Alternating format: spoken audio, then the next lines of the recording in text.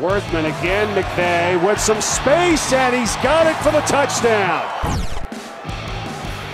They're going to go back out to Tim McVey now, cutting back the other way, and McVey has his second touchdown tonight.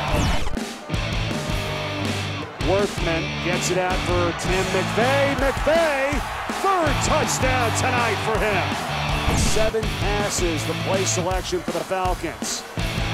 McVey to the end zone. He's got it. Touchdown. It's his fourth of the night.